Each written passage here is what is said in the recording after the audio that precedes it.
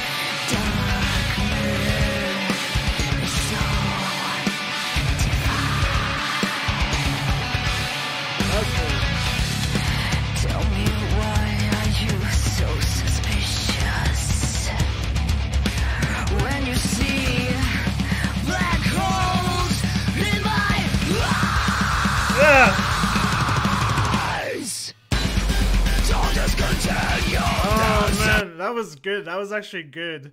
Uh, oh, I love that build up. That was that was perfect. Let's watch that again. When you see black holes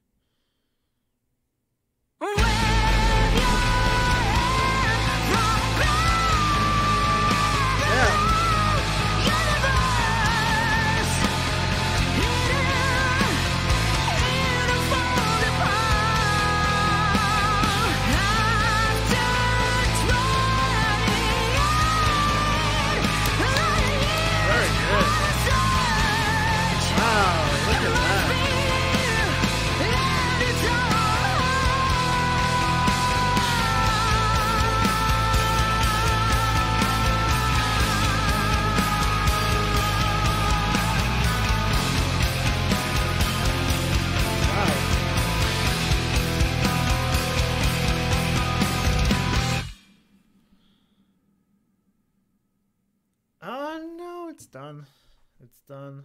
I think. Yeah. Wow. All right. All right.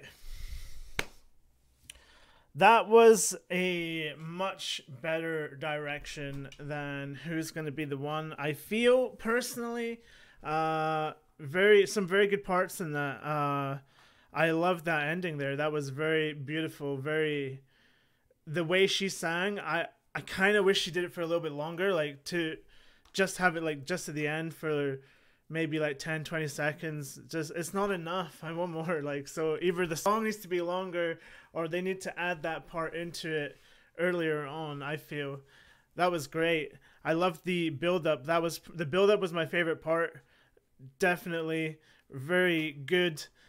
Just they they they they nailed it. The build up was perfect. It really was. Like uh, I even predicted the the one second part. That was cool. I wasn't expecting to be able to do that, but they did and they nailed it. So that was great. Uh, I don't I don't know if I like the guitar, which is weird because I'm a guitarist. Well, I'm not a guitarist, but I play guitar. Uh, but I don't like the. I, I, I just I don't know. I don't I just don't like that sound.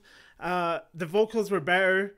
Uh, really, like no, seriously, she did really good job with the vocals. I feel.